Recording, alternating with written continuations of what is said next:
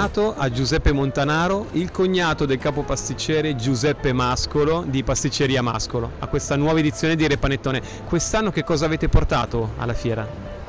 Eh, intanto buongiorno a tutti e tanti saluti eh, dallo chef Mascolo a tutto il popolo piemontese, milanese in particolare e anche tutti, tutto il nord perché eh, ci chiamano, ci sono soddisf molto soddisfatti dei, dei, nostri prodotti che li spediamo e allora un ringraziamento va a tutta Italia.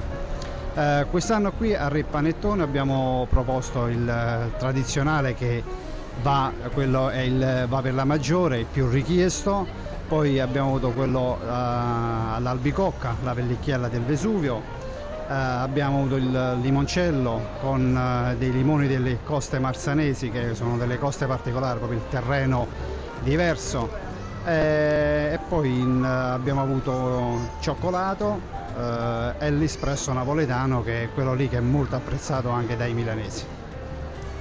Qual è il panettone che avete più venduto qui a Repanettone? Allora, eh, diciamo un po' tutti, però quello che è gradito di più eh, da, dai milanesi è il tradizionale e quest'anno abbiamo avuto un po' di più richiesta dell'espresso napoletano, quello a caffè.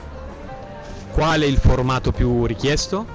Allora, diciamo che comprano un po' tutto, eh, però in base al numero eh, delle famiglie. C'è chi prende da un chilo e chi da mezzo quando le persone sono due.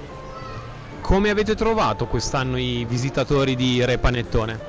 Allora, quest'anno i visitatori di Re Panettone li abbiamo trovati intanto molto soddisfatti perché eh, a livello logistico non hanno avuto problemi. Ecco, il, il, il, fatto della scelta della location in un posto dove c'è spazio per parcheggiare aiuta molto il cliente che anche se piove parcheggia vicino a dove, dove è la location.